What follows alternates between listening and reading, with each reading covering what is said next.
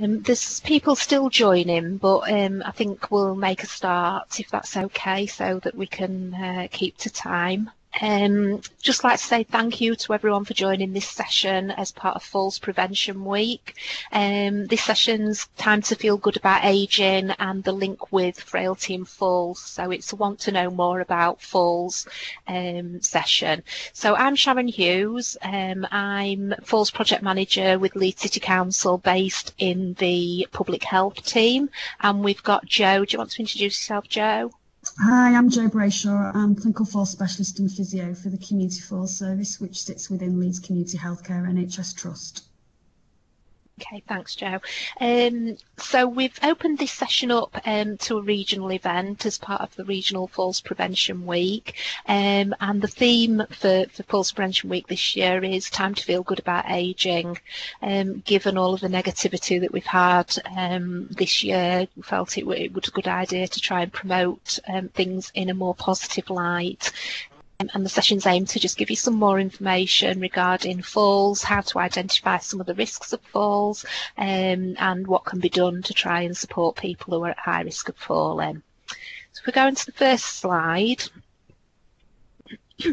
so a lot of work's been done regarding frailty um, and what we're trying to do is change the perceptions of people regarding what frailty is. Frailty has various definitions. Um, two that we've picked out here are um, frailty being a state of increased vulnerability resulting from ageing associated with the decline of the body's physical and psychological reserves. Um, and second one, which is um, effectiveness matters, is the distinctive state where a minor event can trigger major changes in health from which a pa patient may fail to return to their pre previous level of health. Health, sorry. Um, so I think that's really well explained in this next slide um, which is called the Frailty Fulcrum. And um, apologies for those who have already seen this, but I think the Frailty Fulcrum video, which you've got the link um, to, to, access it there, um, thinking about frailty, it's talking about there's various components that make up um, support for an individual. So it's the systems of care around them, um, their physical environment, their social environment, their psychological status, and any long-term conditions um, that they're living with. And frailty isn't just end of life and for older, referencing older people. Actually, um, people that are younger but living with multiple long-term conditions um, can be classified as being frail. Looking at the electronic frailty index, um, so acute health events can um, impact more significantly on people that are living with frailty. And there's various levels of frailty from mild to moderate and then severe frailty. So when we talk about frailty in that context. Severe frailty is end of life, but as I say, generally talking about frailty, it's not talking about just end of life, it's talking about across the life course. And lots of things can be done to, to support people to prevent them entering into, into that severe frailty spectrum um, that, that we can do proactively.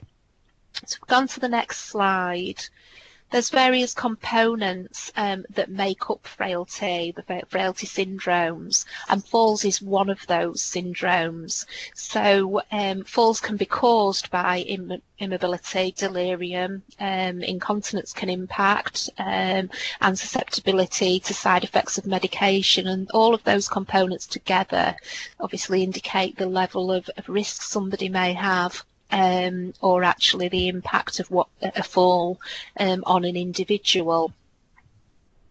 If we move to the next slide.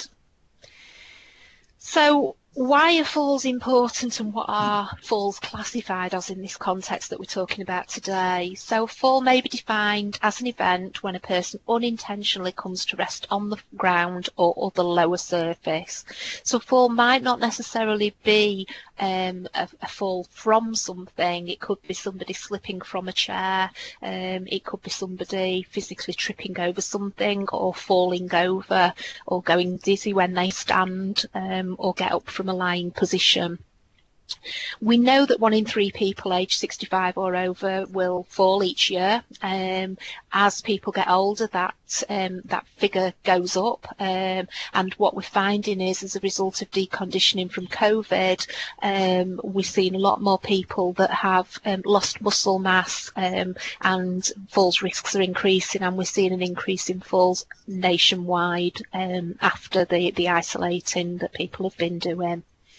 Um, there were 21,140 emergency hospital admissions due to falls, people aged over 65 in Yorkshire and Humber in 1819 and the estimated cost um, to health and social care just from hip fractures is 6 million um, per day or 2.3 billion per year. Um, and that's not thinking about the number of people that are uh, uh, admitted to hospital with um, a serious injurious fall that is just the hip fracture figure. And we know generally that when people experience a hip fracture it isn't their first fall. Um, it's usually their third or fourth fall. Um, so that hence the, the need for us to identify the risk much earlier and consider what we can do um, and, and, support people to prevent um, falls. I'm going to hand over to Jo now for the next slide.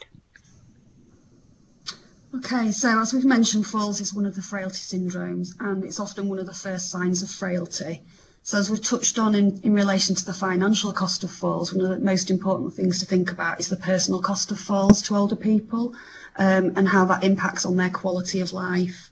So looking at this slide, it's just describing what can happen to somebody after they've had a fall. So quite often they can be quite anxious and worried about falling again, which in turn can affect their confidence. Um, they tend to limit their activity levels and can be, potentially become less dependent with day-to-day -day activities mobility can reduce, deconditioning can come into that because they're not doing as much as they were before. They tend to become quite socially isolated because they've restricted their activities and they're not going out. And in turn can lead to somebody becoming quite depressed, then resulting in kind of not eating and drinking as well. They can become dehydrated. Um, and that in turn can lead somebody to feel dizzy, they can become confused, and ultimately that can lead to a further fall. Um, and depending on the outcome of that fall will determine what happens to that person. So they may well be able to continue to manage at home. Some people may need extra support. Some people may end up in long-term care because they can no longer manage at home. And for some where there's significant injury or harm from the fall, um, some people do die as a result of a fall. So it's really important to stress why we need to assess these people as early on as possible and intervene with what, what we can to try and reduce the risk of the falls happening in the first place. Next slide, please. So looking at how frailty impacts on falls, so there's quite some common issues that are identified in frailty that have also been identified as risk factors for falls. So in particular, when we look at medication, so polypharmacy, if somebody's taking four or more different medications, um, loss of muscle mass and function, which can link in with physical inactivity and reduced mobility, and certainly more of an issue as we've come out of um, lockdown where people are going to be more deconditioned. Um, anyone with continence issues, visual problems, cognitive impairment, and also excess alcohol comes into that as well. Next slide, please. So specifically falls risk factors, um, where someone's had a history of falls already, they are more at risk of having further falls. Um, environmental hazards, so hazards around the home. Most of the falls that do occur with older people tend to be in the home environment, so it's important to look at that environment as to what we can do to reduce that risk. There's certain medical issues, so such as postural hypotension, so that's where someone's blood pressure will drop when they stand up, uh, and they may feel dizzy with that. Or there may be more acute issues, such as an infection like a UTI that might be causing the problem certain conditions such as Parkinson's disease. There might be somebody that's had a stroke. Um, so neurological conditions that can affect muscle strength and balance and general movement increase the risk of falling. Um, but also conditions like diabetes, uh, which can affect the lower limb sensation. So if somebody can't feel their feet as well, um, that's also going to affect the balance and make them more unsteady and at risk of falling. We've talked about polypharmacy, but it's also certain medications make people more at risk of falling, as well as the number of medications. Um, muscle weakness, balance and mobility impairments, quite a known risk factor there, but also a modifiable one. So it's something that we can intervene to look at addressing. In relation to cognitive impairment, so that would be looking at if someone's got memory problems, they might not appreciate the risks um, around falls, they might not remember the safety advice in terms of what to do and not to do continence issues um, and visual impairment as well. If, if someone's vision's affected, that can affect their balance as well. Next slide, please. So where we look at in terms of risk assessment, um, a multifactorial falls risk assessment is looking at identifying what individual falls risk factors there are for that person. Um, this slide just highlights what NICE, the NICE guidance consider to, the, to be the elements that might be included um, as part of a multifactorial falls risk assessment. I think it's important to say, though, that the assessment needs to be completed kind of within the sphere of competency and skills um, of the person. So what somebody's trained to do. So there'll be elements that people can do, but other elements where you might need to refer on if it's out of your remit. So when we look at falls history, it's important to look at how many falls the person had in the last 12 months, where those falls have happened, what the person was doing at the time, is there a medical or physical underlying cause that, that we can address? Um, when we're looking at osteoporosis risk, is the person taking bone protection medication because they already have a diagnosis? Are they taking the medication they should be? Or is it someone that is at risk of fracturing as a result of a fall? So do we need to flag that up to the relevant professional to, to look at further assessment? Assessment of visual impairment, so we touched on that on the previous slide in terms of how that impact can impact on someone's balance um, and also continence.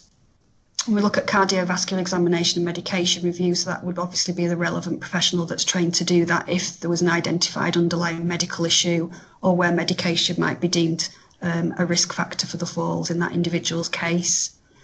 Home hazards, we've also touched on there in terms of looking at that environment assessment of cognitive impairment and neurological examination. So again, it's identifying the relevant professional to be able to assess that. An assessment of older person's perceived functional ability and fear of falling. So what does the person feel that they can and can't do? What are they worried about doing? It's about bringing back that confidence, um, which can be really effective when someone's had a fall or is just worried about falling, um, the risk that's there. So that might be involving other professionals such as an occupational therapist and then the assessment of gait balance and mobility and muscle weakness. So that's identifying where exercise may play a part. Um, and again, that back referring on to a physio or relevant exercise professional to look at what might be appropriate to, to provide. I think that it's important to say as well that obviously across the West Yorkshire footprint, we will be looking at different falls pathways that will be in the different areas. So it's probably important to tap into the services and the pathways within your individual areas because it will be different in terms of what services offer, what assessments and what the referral pathway is for that. Next slide, please. So when we look at interventions in a very general sense, we've done a multifactorial falls risk assessment. So then it's looking at multifactorial in terms of interventions. So based on what those individual risk factors have been identified for that person, what that person's needs are, it's looking at that individualized approach, um, patient-centered approach, so very much about goal setting with the patient, so looking at what they want to achieve, which is more likely to improve kind of adherence and compliance with interventions, and certainly in relation to things like exercise. When we look at multidisciplinary and holistic approach, that's obviously bringing in different professionals, um, health and social care professionals, leisure services, depending on what issues are identified there. Um, and obviously, but still looking at the person holistically and evidence-based. Obviously, we want to provide interventions that have been proven to be effective in reducing the risk of falling. Um, and also to be proactive. So quite often services are reacting to somebody that's had a fall already, but it doesn't stop us being proactive in terms of preventing further falls. So it's very much important to be looking at the education that we provide on falls risk to the person that makes it individual and how they can potentially self-manage their risk going forward in the long term for the future. Next slide, please. So when we look at the benefits of exercise and physical activity, this plays a really important role um, in optimising and maintaining someone's health and well-being. So this slide just identifies some of the benefits, certainly not all, because um, there's obviously a much more extensive list there. But in relation to falls and frailty, we're really wanting to improve someone's strength and balance. Um, the benefits could come in around strengthening bones, so improving bone density, um, reducing risk of falls, where we're promoting cognitive health, so really looking at improving mental health and well-being and bringing that confidence in again to trying to improve confidence in relation to activities of day-to-day activities. Um, and it can also help to reduce the risk of heart disease and improve sleep, so that overall um, health and well-being aspect. Next slide, please. So this hopefully is a slide that most people will be familiar with. So looking at the physical activity guidelines. So again, building on the strength aspect. So it's encouraging um, elements of strength exercise on at least two days a week. Um, again, improving balance two days a week trying to just really reduce the risk um, of somebody spending a lot of time sitting down and not not getting up and exercising. Um, so obviously it's trying to encourage that activity, different activities that can come into play with that, um, that will also support that um, physical activity, but trying to encourage at least 150 minutes of moderate intensity per week um, or 75 minutes of vigorous intensity. And again, that's going to be very individual depending on that person um, and what their medical and physical needs are. Next slide, please. So focusing a little bit more on the exercise component. So when we talk about evidence-based exercise, strength and balance exercise has the most evidence around it. So that can reduce the risk of further or further falls. But the two main evidence-based exercise programs that will be familiar to some are uh, the Otago exercise program and FAME, so Falls Management Exercise, which is based on Postural Stability Instructor program. So the Otago exercise program is a home-based exercise program, uh, whereas the FAME program is a group exercise program. Again, it will differ in terms of what's available in your different areas. Um, and it's very much emphasising the importance of pre-exercise assessment because we need to make sure that people are safe and appropriate to exercise, that we're considering what medical issues, what physical issues those people have, so that we can make sure that they are signposted into the right exercise programs to meet their needs.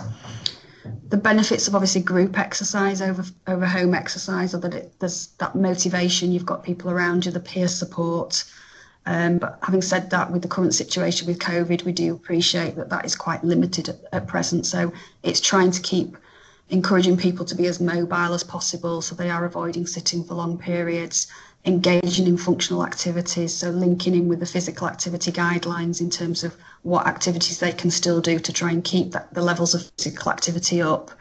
Um, and, and where able, it's that social interaction within the limitations that we have at the moment. Next slide, please.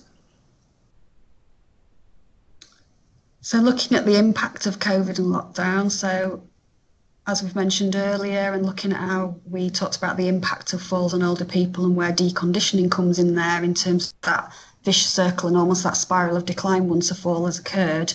Um, we've also got the added complication of lockdown that we've had as a result of COVID um, and further deconditioning for these people that are already at risk of falling. So it's likely to lead to an increased risk of falls, and certainly going into winter, that's obviously a concern we have. The other impact is the social isolation and the increasing anxiety that people are having. They've not been out much or at all, so they've got lost their confidence to go outside, and it's how we can build that back up. Obviously, our challenge at the moment is how we pr- provide face-to-face exercise COVID um, so we obviously need to look at how we can adapt to current circumstances and where digital technology will play a part. Um, but obviously we need to acknowledge the risk with virtual delivery of exercise programs to make sure that we are again providing safe exercise, but whilst we're also trying to maintain evidence-based exercise. And again, digital technology will depend on that individual person and what's safe and appropriate for them. Um, for those of you that are familiar and work with the Otago programs or PSI, um, the FAME programs, if you haven't already seen it, a good resource to look at in relation to this is the Later Life guidance that came out in August um, in response to COVID. So it looks at the delivery of virtual FAME in Otago. Um, so it just gives a bit more information on, on and direction and support on where to go with that so that we are trying to maintain as optimum as we can in terms of provision of exercise programs for these people. Okay, and I'm going to hand back, to Sharon now. So just before we go on to this next slide, just to reiterate um, what we have across the region, um, the West Yorkshire region and beyond, um, we have a falls um, network. So we are sharing good practice and sharing information across areas of the learning that we've got in falls prevention, particularly around COVID, to try and come up with um, alternative approaches to, to support people through through this challenging time. So this resource that I'm going to show you now is Staying Steady in the Home um, and it's actually a resource that Wakefield um, produced um, to prevent falls and it's, it's freely available from Wakefield. We have similar types of things across all the parts of the region on your local services. So it's really prompts um, of, of, things that you can either encourage an individual to to sort of consider, or even things that can be considered whilst um, doing home visits or having contact with with people that are at high risk of falls. Um, so thinking about the clutter that might be in the rooms, um, making sure that people have had a, a meds review. Um, and there's there's interventions, so steps and stairs free of clutter, stairs being well lit, um, making sure that grab rails and handrails um, are recommended to individuals, um, and trying to encourage people to be more proactive rather than waiting till um, that they become more immobile um, and then getting aids and adaptations. It's that that thought of trying to be more proactive in the approach. Thinking about the kitchens um, as as people age are things accessible? Are they able to reach up to to access things or is it actually are they having to stand on things to to access? Um, the bathroom um, grab rails um, and non-slip mats um, in, in the living room, making sure again that the big one here is, is around the clutter, making sure that there aren't trip hazards around the home, um, because we know that as, as Jo's mentioned, a lot of the, the falls that we see are actually around the home. Um, and, and it's not just the winter months when it's icy or cold or slippy. Um, we, we tend to see a trend with, with falls across the, the full 12 months of the year. Um, in the bedroom, one of the things thinking about the postural um, drop, the, the postural hypertension, making sure people have got a light close to the bed and when they get up from the bed um, during an, uh, if they have to get up to go to the toilet on, in the night, encouraging doing that slowly and doing it in stages rather than standing straight up from a lying position, which can cause a lot of falls um, and then some information on what to do if people have a fall.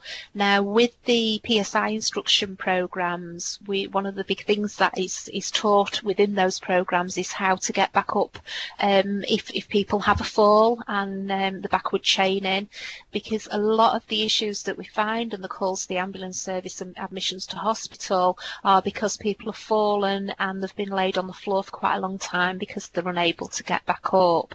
So that goes back to what we were saying about the physical activity. And I think the thing to reiterate with the um, the the Chief Medical Officer's guidance on physical activity, we need to be encouraging everybody across the life course to work on strength and balance um, rather than waiting to, till people are experiencing muscle deterioration um, because that will prevent falls um, later on in life. Next slide, please. Um, so again, this is another useful tool that that can be accessed um, just as a bit of a prompt for people. It takes you through the different rooms uh, of the house and things to look out for in terms of hazards that might be there that will be um, things that can be done to, to prevent falls going forward. Um, the big one on this one is as well the, the eyesight um, depth perception for people as they age um, reduces. So some falls missing steps as, as people are climbing stairs and things. So having that regular eye test is, is crucial. Similarly with hearing tests, um, a lot of hearing impairments can result in loss of balance um, and falls. So again, encouraging people to have hearing tests annually and regularly. Lighting um, this is where some of the partnership work comes in um, thinking about the fire service and the safe and well visits that they do and opportunistic visits to properties and, and speaking to individuals um, come into play having conversations. Are, they able to change the light bulb or is it that a light bulb's gone and they can't change it? How how do we provide support for things like that to make sure areas are well lit I'm not going to go through every one of those, but as I say, we, we can share the presentation after um, after the session, and if people want to access that, then as I say, it is a really useful resource to, to look at and use. So we'd go to the next slide. So what we wanted to do, rather than just Jo and I speaking to you for a long time, we thought we'd open it up to a bit of a, um, we're going to have a whiteboard um, for, for this little bit.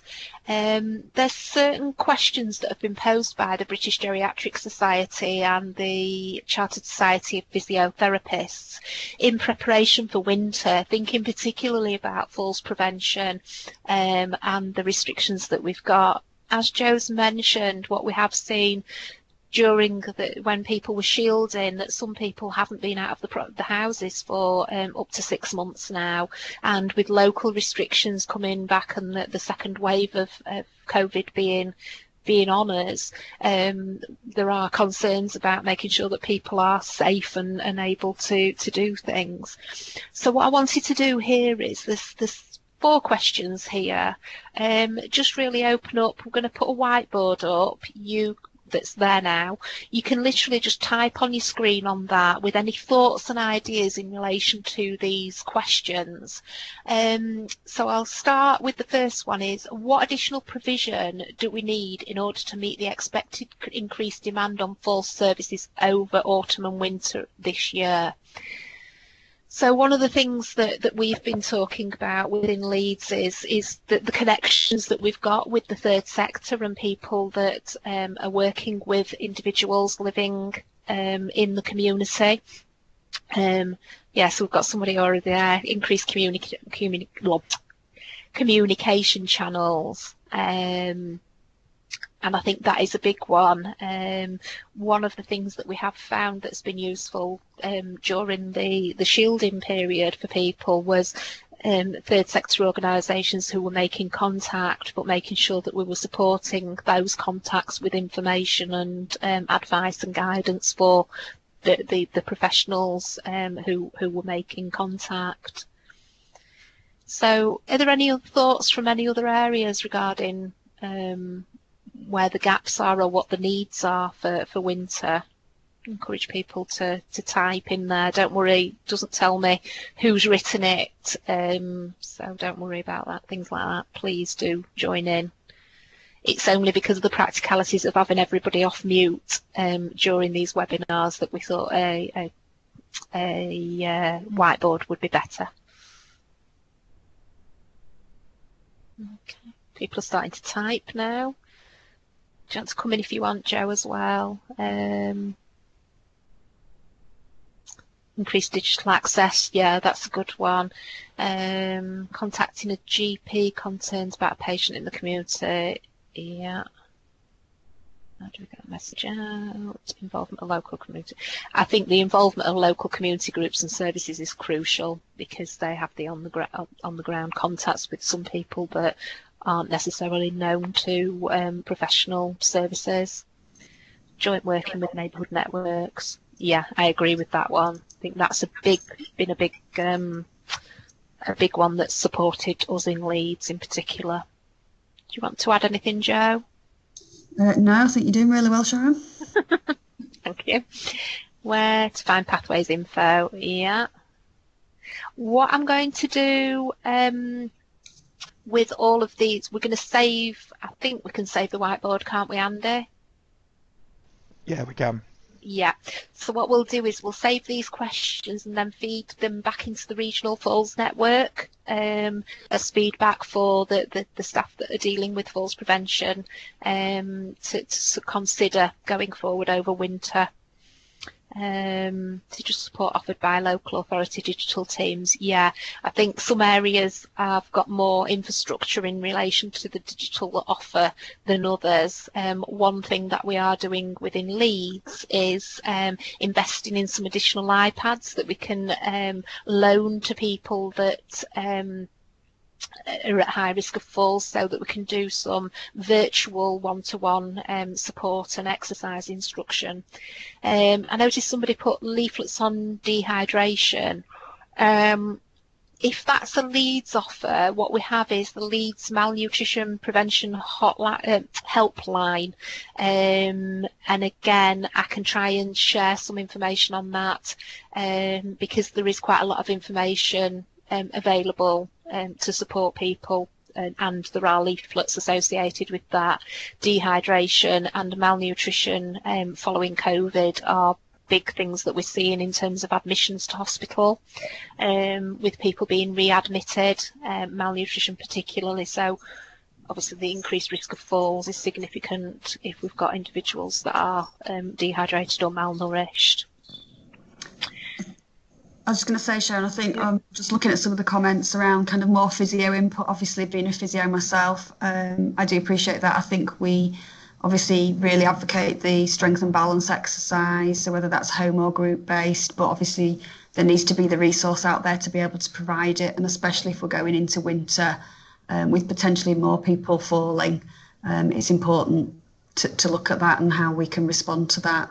Um, and certainly a comment around, I think it says GPs being more responsive to concerns raised around postural drop and medication. And, and that, I think that again links in with the communications channels as well and how we can work um, together given the fact that the GPs aren't seeing patients face to face as much. I've just realised I can't actually see all of the comments. I'm just scrolling sideways now because I've not seen some of those. Um, that's great. What I'll do is I'll people feel free to carry on commenting on that question, um, but I'm going to move on to um, the the sort of the other questions as well. So, which parts of our local services can be delivered remotely using technology, and which need to be delivered face to face? And I think Jo covered this one um, well in in her in her slides. Um, that acknowledgement that we can't just move everything digital, um, but where we can support people people digitally that, that we try and, and do that. Um, but again, that acknowledgement that not all um, older people want to embrace technology and um, making sure that we've got resources and information available in print format as well as um, electronic and digital solutions. But just wanted to sort of pose that um, if there's any comments on what people feel that can be delivered um, remotely um, and which need to be delivered face to face.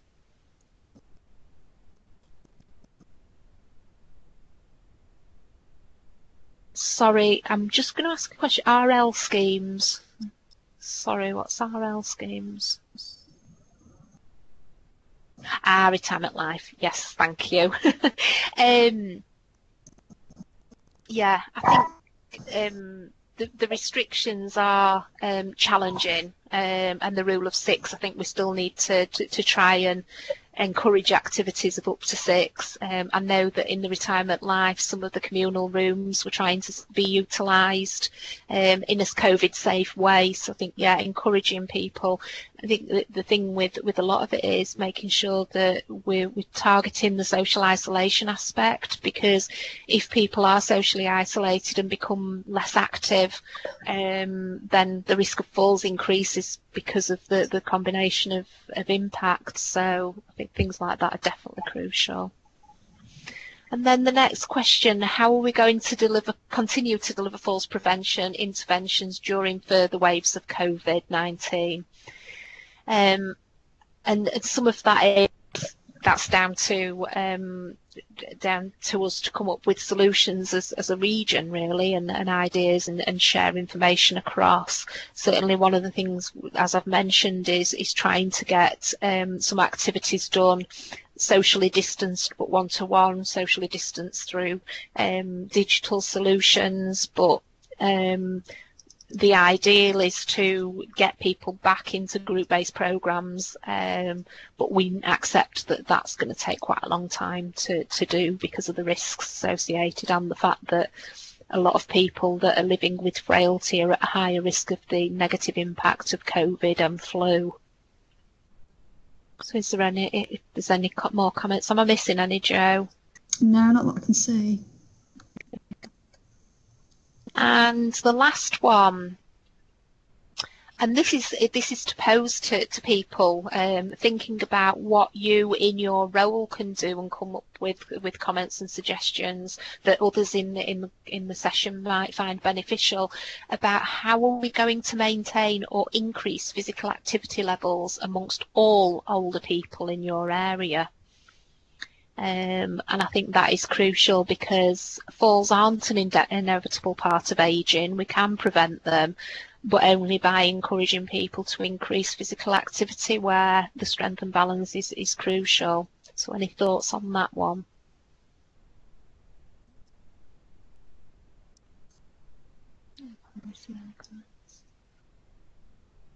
Keep the messages clear and consistent. Yeah, I'd agree that has been the challenge during COVID. Size programs, make offers interesting. Yeah.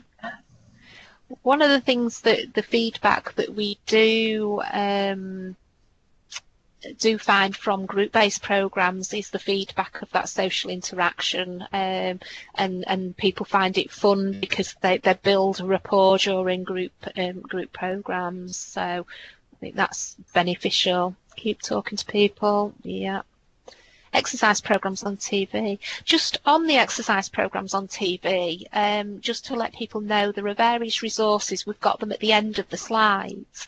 Um, but Active Leeds, um, and I know other areas have done the same, other parts of West Yorkshire, have recorded some of the exercise instruction and put it on YouTube um, so people can access um, how to do some of the basic strength and balance exercises and how to get back up off the floor. So again, there's some links at the end of this presentation um, and if people want information on any local offers then um, I've got my email at the end of the presentation for people to, to email and I can direct it to whichever area is relevant um, should there be any questions neighbour check calls, go through a checklist. Yeah, yeah, eating, drinking enough. I think that that one's quite a, a powerful one to use. Okay, is everybody finished typing? Have we got anyone still? Oh, I'm scrolling down now. I can, couldn't see all of them. Stop relying on digital and internet. Very limited access for old people. Yeah, I accept that. And and we we have tried all areas um, across West Yorkshire have tried to um, develop information booklets to, to, to meet that to, that need. Um, okay, thank you for everyone um, for that. Um, it's been it's really useful, and as I say, I'll take that away and um, form part of the discussion for the next regional falls falls network. Um, people are still typing, so I'll just give it a second or two. Um, and if anyone's got any final comments to type in there, please do. Andy, can you see when all the typing's finished? Because I can't seem to see all of the screen at once. Uh, yeah, I can see a bit more. I'll uh, I'll keep an eye on it and I'll save it once it's done. Okay, so have we got any more to add to the questions? I think we've got a few interesting comments and ideas there, and I think certainly communications coming out as a strong feature there, and certainly working across services and agencies um, in relation to what we can provide and support with the people going forward. Are we moving on to the question and answer section, Sharon? Um, yeah, I'm just conscious that I can still see people out. Um, yeah, sorry, who's got one? Typing, yeah. Yeah, creating timetables for exercises to be done. Yeah, anything that we can encourage people to get into a routine with exercise is really helpful. something that's going to be a prompt because obviously if they haven't got people particularly coming in as much as before that might have prompted them anything that we can do to support that is is going to be helpful focus online resources towards relatives of those vulnerable so they can support um, and continue support yeah i think that's um, certainly in some of the, the developments that we've looked at, um, it, it's some of those messages and, and some of those targeting actually um, targeting the friends and relatives rather than some older people because of the, the access to information sometimes and what's available in their locality. Yeah. Okay. Oh. still, still people typing. I don't want to, don't want to stop. Um, stop the flow. I'll just give it a second more and then we'll move on to the question and answers. Fantastic. Thank you everybody um, for that bit. We're just going to move on to the next um, the next bit is if you, I don't know if it'll come up automatically for everybody, but um, it's question, if people have got any questions and we've got a question there, where would we find the information on the falls pathway? Um, it would be helpful to know which um, area that is for, is it if it's for Leeds or one of the other parts of West Yorkshire, please, if you can add that in um, what is the best way to get the message out door to door? Um, and should we be focusing on reaching out to relatives of those vulnerable to help them assist and educate family members? I think, um, yeah, the door-to-door information. Um, again, this varies across the across the West Yorkshire region, dependent on the support networks that are available. But certainly, most of the local authorities have engaged with third sector organisations. In Leeds, we've got 33 hubs um, that are providing support, particularly through COVID, but also um, the neighbourhood networks that we've got across the city. Um, what we've been doing with those is produ- we've produced um, a staying well at home leaflet, um, which includes information and advice on physical activity, um, nutrition, hydration, um, and, and, things like that. And we've distributed those to the neighbourhood networks for them to, to try and get out to individuals as through the doors as they're having contact with them. Um, I know that Wakefield have done something similar with a, a very similar leaflet. We've followed a very similar format, but just changed it ever so slightly for the local areas. Um, and I think that is that when when we do Falls Prevention Week normally we normally do uh, activities in the community. This year obviously it's very different because of um, restrictions. So we, we focus this about the workforce and, and raising awareness with the workforce and access to information. Um, and we've put access to information that can be um, that is, is available publicly on the public health um, website that hopefully people will have um, a link to. Um, and I think that's where we can encourage um, people to, to access information to, to share with friends and family members. Have you anything to add on that one, Jo? No, no. Um, we've got any more? I'm trying to scroll down think the question in the answer to the falls pathway one was it was featuring Leeds. Right, it's Leeds. Um, we are just working on um, reviewing the falls pathway at the moment um, for Leeds, um, and we're we're going to be producing it shortly. Um, so that will be shared, obviously, with health professionals and others referring in um, as we finalise it over the next couple of months. Um, but in in essence at the moment um, referrals to the specialist falls service um, are done through a referral form. Jo, do you want to come in and answer? Um, yeah, so it would tend to be from certain healthcare professionals at the moment. So our, our main referrals are through GPs, the GP practices, um, for anyone that might be more on neighbourhood network schemes, voluntary sector. If you've got concerns about people in relation to falls, um, I would say in the first instance, just check if they're under any services already from an NHS perspective. um, that might be able to do the falls assessment. If not, I would be signposting to the GP um, and then they can make that referral if they feel that's appropriate. Um, yeah. Do yeah, thank you, Donna. Um, a lot of the neighbourhood networks have been doing um, things like that and having virtual coffee mornings and and things um, with with Zoom and and uh, Teams and things like that. I think the the feedback that we've had from from older people is that telephone contact has been really, really powerful and really important to them. Um, I held a workshop session yesterday and we were talking about carers and, and what can we do to support carers and people they're caring for through winter. Um, and those telephone contacts of not only asking um, the individual how they are, but actually asking the carer how they are and just somebody taking the time to to check in on them um, actually makes a massive difference. And it sounds as though it's not just for falls, it's not. But if we think about people's mental well-being, um, the more positive they can be, and the, the more likely that they're going to be to be inactive and engaging in in activities, therefore, um, preventing falls. So it sounds like a bit of a, a, a bit of an off-the-wall way of doing it, but actually engaging through different conversations um, can lead to quite uh, more confidence and open discussions with people.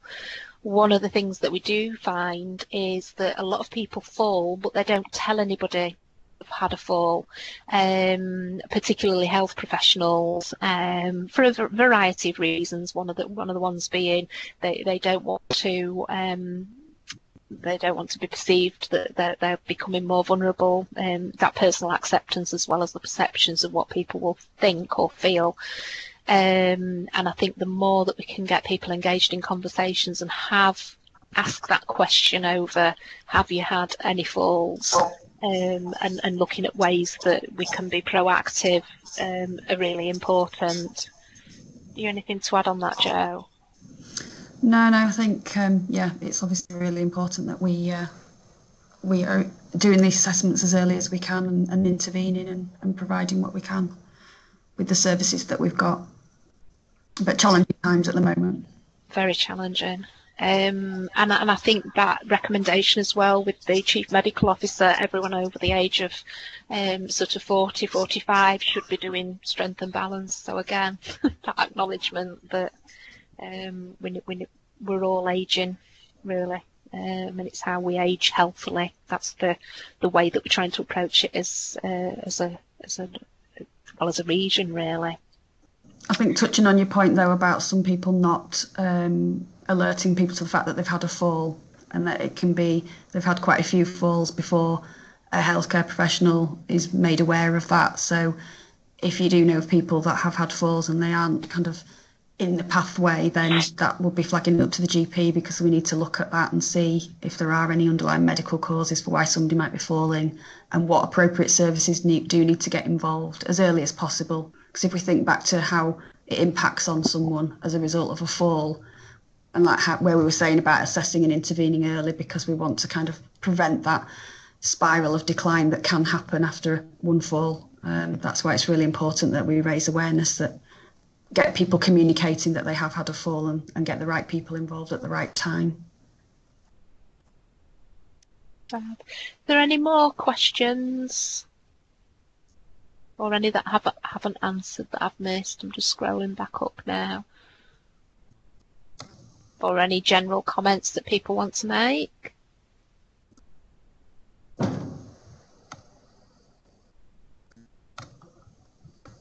No? Okay. Um, if there are any more, just um, pop it in the question and answer box, and uh, I'll, I will check it before we finish. Um, if we go back to the slides, for those who've clicked on the question and answer tab, if you click back on the presentation tag, it'll take tab, it'll take you back. So what we've done here is just provide um, some more information on where additional information and guidance can be um, can be accessed. Um, and some of the references for the, the the content of the slides. Um, so the Fit for Frailty um, has guidance for old people living in the community and outpatient settings. Um, quite an interesting article is the um, falls and fear of falling, which comes first, um, and that talks about the um, the full spiral that we refer to over that decline. Um, if people have got a fear of falling, actually their risk of falling increases. So it's that uh, chicken and egg question sometimes. Um, the falls and fracture consensus statement for those of you working with commissioners or working in commission services, there's various recommendations and guides within that document about good practice and what um, what should be available across um, services in an ideal world. The NICE guidance that Jo referred to um, has the, the, the guidance for how to assess and um, look at the risk and prevention of falls. And there's a link there for the later life um, training guidance that um, Jo mentioned as well and um, the psychological theory to practical observations, again, another useful document for people to access um, to, to, sort of understand how we can approach and how we can support people to prevent falls in the future. Go to the next slide. There's some other resources here. Um, a lot of them are, if you literally Google those um, those those titles it will bring you up with. So Keeping Well at Home is the leaflet that um, Leeds have developed, but there are um, local variations of that as well in other areas. The Chartered Society of Physiotherapists Get Up and Go, um, that's some exercise instruction, and the Staying Steady is the a leaflet that's how to um, how to prevent falls. Make movement your mission is a really good one to access as well during lockdown, as is the Get Up and Go one. Um, it's basically YouTube clips that are done um, three times a week um, for people to to join in with an, in their own home um, to try and prevent falls, but just generally during lockdown um, and while people are isolating, keeping active. Um, it's targeted at older people, but um, I'd encourage others to to look at it as well because it is very good. The Keep on Keep Up app is based on the um, FAME programme and PSI exercise instruction. What we're doing within Leeds is really promoting this app um, and investing, as I said, in iPads um, with the app installed on it to encourage people to do exercise at home to prevent falls. But it also talks about bone health and it also talks about home hazards. Um, so it's it's a really good app if people have um, have got patients or people service users, people are working with who have got access to um, iPhones or iPads. Um, there is a version being launched on Android shortly, but it's just being developed because it is going to um, look slightly different to the Apple um, approach. And there's various tools and rehab information there as well from the British Geriatric Society that have been developed. So they're national um, information. I've added a slide here um, for sources of information, particularly for Leeds um, and things that can be accessed. So we mentioned about the minor adaptations um, that's delivered through Home Plus service, which is care and repair. Um, and there is a video on how to prevent falls that we, that we produced. Um, when we originally planned this session, we were hoping, if we go to the next slide, um, so this is the last slide. Um, we're hoping to have a panel with representatives from each part of the region on this call, um, but unfortunately because of the pressures that COVID is presenting to us at the moment, um, we've, we've not been able to facilitate that.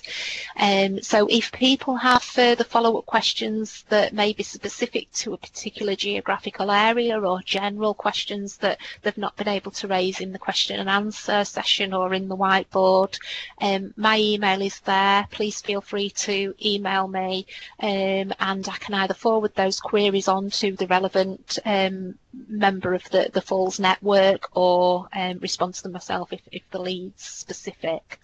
Um, I'll just double check back on the QA board and see if there's any additional questions.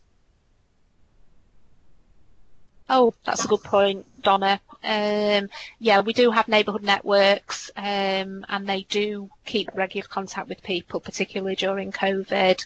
Um, so if you have somebody that you're concerned about living in the local community, it's not necessarily a, a clinical issue, but it's more of a, an isolation issue or general support, you can refer to the neighbourhood network um, and they will engage and, and, make contact with them.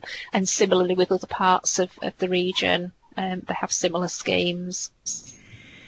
So that is the end of the session for us. Um, I hope it's been useful for people. I hope you've enjoyed it um, and it's been insightful. As I say, if there is any follow up um, for either myself or Jo, feel free to email me and I can redirect them. And thank you very much for taking part. And please um, access the other information and resources that are available as part of Falls Prevention Week. Thank you. Everyone have a good weekend. Thank you.